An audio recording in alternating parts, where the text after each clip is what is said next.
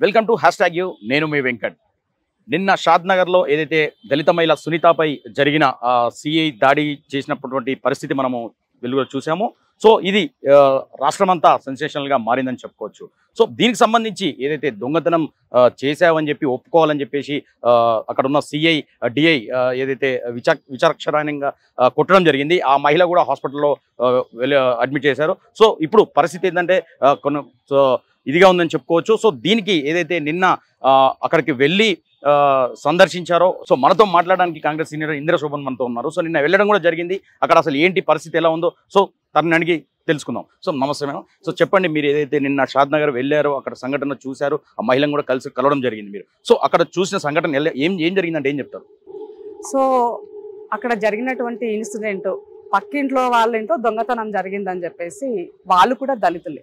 So ఈ అమ్మాయి పైన దొంగతనం కేసు ఆరోపణలు ఇచ్చినప్పుడు మంగళవారం రోజు రాత్రి తొమ్మిది గంటలకి ఆమెను అరెస్ట్ చేశారని ఆ తర్వాత రెండు గంటల వరకు ఆమె పైన చాలా దారుణంగా కొట్టారని బట్టలు విప్పేసి తన హస్బెండ్ యొక్క షర్ట్ వేసి నెక్కర్ వేసి ఆమెను కొట్టారని భర్తను కొడితే కేసు ఒప్పుకోవట్లేదని తర్వాత భార్యని కొట్టిన తర్వాత మళ్ళీ తన కొడుకు ముప్పై తన కొడుకు నైన్త్ క్లాస్ చదువుతున్నాడు. ఆ అబ్బాయిని కూడా కొట్టడం ద్వారా తల్లి భయపడి తన తల్లి ప్రేమ ద్వారా అట్లీస్ట్ నిజం ఒప్పుకుంటుందేమన్న ఉద్దేశంతో కొట్టారని తను చెప్పినటువంటి విషయాలు. సో ఇక్కడ ఇన్సిడెంట్ మంగళవారం జరిగింది. ఈ సమాజానికి ఆ ఇష్యూ తెలిసింది మనకి ఆదివారం సాయంత్రం. ఆమె ఎప్పుడైతే గవర్నమెంట్ హాస్పిటల్లో చేరిందో అప్పుడు మాత్రమే ఈ సమాజానికి ఆ విషయం తెలిసింది. సో కాబట్టి నేను ఏమంటానంటే ఇప్పుడు ఒక పేదరాలు చదువులేనటువంటి కూలీనాలు చేసుకొని బతికేటువంటి వాళ్ళపైన ఒక కేసు ఆరోపణ మీ దగ్గరకు వచ్చింది. పోలీస్ వ్యవస్థ చేయాల్సింది ఏంటి మీరు ఇన్ టైంలో ఆమెని పోలీస్ స్టేషన్కి పిలిచి ఎంక్వైరీ చేసి ఆరు తర్వాత మీరు ఒకవేళ ఆ కేసు తెలియనట్లయితే ఆమెను తీసుకెళ్ళి మీరు కోర్టులో సబ్మిట్ చేయాలి. మరి పోలీస్ అనేటువంటి వ్యక్తి అక్కడ ఉన్నటువంటి సిఐ రామరెడ్డి గారు మరి చదువుకొని వచ్చినాడా? దొడ్డిదారుని వచ్చినాడా అని అడుగుతున్నాను నేను. ఇవాళ రేవంత్ అన్న సర్కార్లో మహిళలకి పెద్దపీట వేస్తుంది. ప్రతి విషయంలో మహిళలకే ఇవాళ అభి సంక్షేమ పథకాలు అయిండొచ్చు వాళ్ళకి ఇవ్వాల్సినటువంటి గౌరవం విషయంలో అయిండొచ్చు ఇవాళ అలాంటి పని చేస్తున్నటువంటి అతనికి కింది స్థాయిలో ఉన్నటువంటి ఇప్పుడు మహిళలకు సంబంధించిన లా అండ్ ఆర్డర్కి కూడా పలుసార్లు రివ్యూ చేశారు. కొత్తగా రీసెంట్గా డీజీపీ గారిని కూడా నియమించారు. ఈ సందర్భంలో కింది స్థాయిలో ఉన్నటువంటి పోలీస్ వ్యవస్థ అధికారులు మీరు ఇలాంటి దిక్కుమాల పనులు చేయడం ద్వారా ఇవాళ ఈ ప్రభుత్వానికి పోలీస్ వ్యవస్థకి ఒక కలంకాన్ని మీరు తీసుకొచ్చినారని చెప్పక తప్పట్లేదు. లాస్ట్ టైము టీఆర్ఎస్ ప్రభుత్వంలో మరియమ్మ ఇన్సిడెంట్ అప్పుడు కూడా మాలాంటి వాళ్ళం అందరం మాట్లాడినాం. ఇది ఎవరు కన్నీ విని ఎరగనటువంటి ఇన్సిడెంట్ అని ఆ రోజు మరియమ్మ అని మాట్లాడినాం. సేమ్ ఇవాళ కూడా అలాంటి ఇన్సిడెంటే ఇవాళ జరిగింది. అది మరొక ముందు ఇది జరుగుతూ ఉన్నప్పుడు సమాజంలో ఉన్నటువంటి ప్రతి ఒక్కరూ కూడా మానవత దృక్పథంతో రాజకీయాలకి అతీతంగా ఇక్కడ రాజకీయ కోణంలో కాకుండా ఒక మహిళా కోణంలో జరిగినటువంటి ఇన్సిడెంట్ని మాత్రం చూడాలని మాత్రం నేను తెలియజేస్తున్నాను. సో నిన్న నేను అక్కడికి వెళ్ళినప్పుడు ఆమె చెప్పినటువంటి బాధను విని ఆమెని పూర్తి అసలు కట్టి అసలు చైర్లో వేసి ఆమెను కట్టేసిన తీరు ఆమెకు ఆల్రెడీ ఈ లెఫ్ట్ హ్యాండ్ ఆమెకి సర్జరీ అయ్యింది రాడ్ ఉంది రాడ్ తీపిచ్చారంట. సో అలా కట్టినప్పుడు ఆమెకి ఇంకా ఎక్కువగా పెయిన్ఫుల్గా ఉండడం తోటి మంగళవారం రోజు రెండు గంటలకి స్పృహ తప్పి హాస్పిటల్లో పోలీస్ స్టేషన్లో పడిపోతే వాళ్ళ కొడుకుకి ఎవరైతే కంప్లైంట్ ఇచ్చారో కంప్లైంట్ ఇచ్చినటువంటి అతను వాళ్ళ బాబుకు జెండు బామ్ ఇచ్చేసి వెళ్ళి మీ మదర్కి రుద్దు ఇది ఆమె పడిపోయింది అని చెప్తే అతను తీసుకొచ్చి మళ్ళీ అతని కారులోనే వాళ్ళ ఇంట్లో వదిలిపెట్టారు.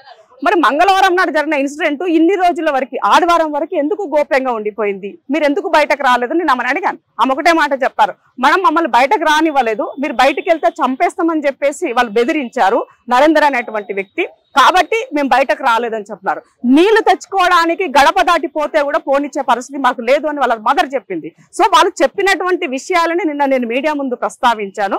కాబట్టి డీజీపీ గారికి నేను యాక్చువల్గా నేను ఫస్ట్ డీజీపీ గారు నిన్న అపాయింట్మెంట్ తీసుకున్నాను నేను కలవడం కోసం. ఆయనకి ఒక విక్టిమ్ని కలిసిన తర్వాత పూర్వపరాలు తెలుసుకున్న తర్వాత డీజీపీని కలిస్తే బాగుంటుందన్న ఉద్దేశంతో నేను ఆగిపోయి అక్కడికి వెళ్ళి రావడం జరిగింది. డీజీపీ గారిని ఒకటే రిక్వెస్ట్ చేస్తున్నాను. ఈ ప్రభుత్వం ప్రజల కోసం ఉన్నది. ప్రజల సంక్షేమం కోసం ఉన్నది. ఇలాంటి చిన్న చిన్న విషయాలల్లా అసలు లా అండ్ ఆర్డర్ పరిధిలో లేనటువంటి అంశాల పట్ల సీరియస్గా మీరు తీసుకోవాల్సింది పోయి చేసేటువంటి అలాంటి అధికారుల ద్వారా ఇలాంటి అపవాదు వచ్చినప్పుడు దానిని చూడాల్సిన బాధ్యత డీజీపీ గారిదే కాబట్టి వాళ్ళని సస్పెండ్ కాదు చేయాల్సింది.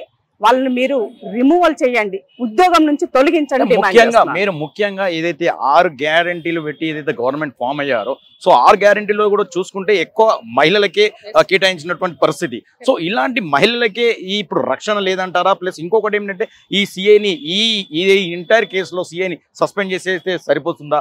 ఇంకా మిగతా ఏమైనా చేయాలనుకుంటున్నా అందుకే చెప్తున్నాను నేను. నేను నిన్న వెళ్ళినప్పుడు అదే తెలియజేస్తున్నాను. అధికారులు చేసినటువంటి తప్పుని ఇవాళ ప్రభుత్వానికి అంటగట్టే ప్రయత్నం జరుగుతుంది కాబట్టి ఇవాళ మేము ఏదో తప్పు చేస్తామనే విధంగా బయట నిన్న సబితా ఇంద్రారెడ్డి గారు వెళ్ళినప్పుడు కానీ కేటీఆర్ గారు ట్విట్టర్ సాక్షి ఆయన స్పందించిన విషయాన్ని కాదు. మరి ఇదే స్పందన మరియమ్మ విషయంలో కేటీఆర్ ఎందుకు స్పందించలేదు? మీరు ప్రభుత్వంలో ఉన్నవాళ్ళు కదా మీరు షాడో సీఎం కదా ఆ రోజు ఎందుకు మాట్లాడలేదు? అదే మీ మెదక్ జిల్లాలో నీ మీ మీ నాన్నగారు జిల్లాలో ఒక బెల్ట్ షాపులని నియంత్రించాలని చెప్పేసి దళిత పిల్లలు అడిగితే ఆ కుటుంబం కుటుంబాన్ని మీరు వెళ్ళేశారు కదా మరి అప్పుడు ఎందుకు మాట్లాడలేదు? అంటే మనం అధికారంలో ఉంటే ఒకటి అధికారం లేకపోతే ఇంకొకటి కాదు. ఎనిమిది నెలలే అవుతుంది. ఎనిమిది నెలల్లో మహిళలకు రక్షణ లేకుండా అయిపోతుంది. హైదరాబాద్ అంతా ఒక మాదిరిగా మారిపోతుందని చెప్పేసి బీఆర్ఎస్ నేతలు అంటున్నారు. ఇప్పుడు వాళ్ళకి అక్కస్ ఏంటి అని అంటే ప్రజాపాలనలో స్వేచ్ఛగా తిరుగుతున్నారు. ఎవరు ఎవరినైనా కలుస్తున్నారు. ఎవరు ఎవరితోనైనా మాట్లాడుతున్నారు. ఫోన్లో మాట్లాడుకుంటున్నారు స్వేచ్ఛగా. ఒకప్పుడు ఫోన్లో కూడా మాట్లాడుకునే పరిస్థితి లేదు కదా. కాబట్టి ఆ అక్కస్ అన్నది వాళ్ళలో కనబడుతుంది అనేది మనకు క్లియర్గా అనిపిస్తుంది. వాళ్ళలాగా ఒక నియంతృత్వ ధోరణిలో నియంతగా ఒక అన్డెమోక్రటిక్గా మనం పాలిస్తే వాళ్ళకి బాగుంటది అని అనుకుంటున్నారు. కానీ ఇక్కడ ఉన్నది కాంగ్రెస్ ఒక సెక్యులర్ ఒక డెమోక్రటిక్గా ఉన్నటువంటి ప్లాట్ఫామ్లో మనం ఉన్నాము. ఇవాళ ఆ ప్రభుత్వము ఇక్కడ దేశవ్యాప్తంగా ఎక్కడైనా అదే రకంగా ఉంటుంది. సో మహిళలకి ఆనాడైనా ఈనాడైనా ఎప్పుడైనా కూడా మహిళలకి రక్షణ కవచంగా ప్రభుత్వం ఉంటుందనేది గుర్తుపెట్టుకోవాల్సిన అవసరం ఉంది. అక్కడ ఇక్కడ అధికారులు చేసినటువంటి తప్పులను ప్రభుత్వం తప్పకుండా సరిచేస్తుంది.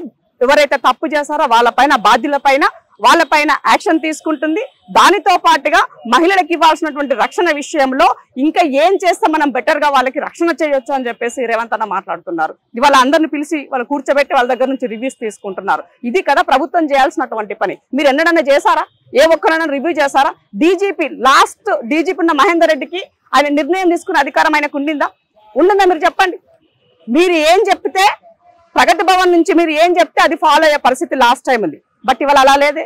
చాలా స్వేచ్ఛగా పోలీసులు పనిచేయడానికి వాళ్ళకి స్వేచ్ఛ ఇచ్చారు. అక్కడో ఇక్కడ కొద్ది మంది గడ్డి తినేవాళ్ళు ఉండి వాళ్ళ యొక్క వాణిని వాళ్ళంటే ఏమంటారు అతి- అతిగా బిహేవ్ చేయడం ద్వారా ఇలాంటి ఇష్యూస్ జరుగుతున్నాయి కాబట్టి వీటిని కూడా త్వరలోనే అన్నిటికి కూడా కంట్రోల్ అవుతుంది. నిజంగా రేవంత్ అని ఇవాళ హైదరాబాద్లో ఉండుంటే తెలంగాణలో ఉండుంటే తప్పకుండా దాని యాక్షన్ ఇంకొక రకంగా ఉండేది. బట్ ఇవాళ అమెరికా టూర్లో ఉన్నారు కాబట్టి అక్కడ ఉండి కూడా కొన్ని కొన్ని. వాదనలు ఇక్కడ ఏంటంటే ముఖ్యంగా కొన్ని వాదనలు వస్తున్నాయి. అమెరికా పర్యటనలో ఉండి కూడా ముఖ్యమంత్రి గారు స్పందించారు. కానీ షాద్నార్ సంబంధించి లోకల్ ఎమ్మెల్యే ఇప్పటివరకు స్పందించలేదని కొన్ని వార్తలు తప్పు ఇది రాంగ్ మెసేజ్? నిన్న మన శంకరన్న వెళ్ళి వెళ్ళాడు. మధ్యాహ్నమే వెళ్ళి కలిశారు. ఆ అమ్మాయిని కలిశారు. తనకు కావాల్సినటువంటివి ఏంటి అనేది కూడా కంప్లీట్ పూర పరాలని కూడా కనుక్కున్నారు. మీడియాకి ఎవరో రాంగ్ ఇంటరప్ట్ చేశారు. శంకరన్న వెళ్ళి కలిశారు.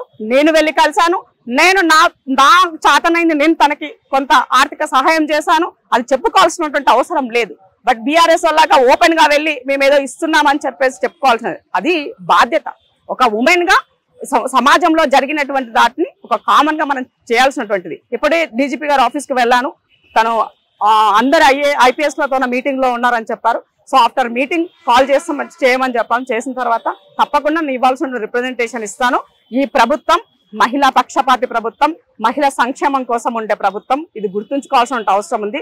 రాజకీయ కోణంలో రాజకీయాల కోసం ఇలాంటి విషయాలను వాడకూ వాడుకోకూడదు అని విజ్ఞప్తి చేస్తున్నా వాళ్ళకి సో ఇక్కడ ఏంటంటే ఎవరైతే కంప్లైంట్ ఇచ్చారో ఆర్ఎంపీ డాక్టర్ సో ఆర్ఎంపీ డాక్టర్కి ఈ సిఐకి ఏమైనా అనుబంధం ఉందని అంటారా ఎందుకు ఎందుకు ఇంత విచక్షణంగా ఒక దళిత మహిళను పట్టుకుని ఇలా జరిగింది? అందుకే అంటే ఇప్పుడు సిఐకి కూడా పర్టికులర్గా అంత ఇంట్రెస్ట్ ఏంటి అని అడుగుతున్నాను నేను. నిన్న నేను నేను క్వశ్చన్ రేస్ చేసింది అక్కడ అదే అన్నట్టు.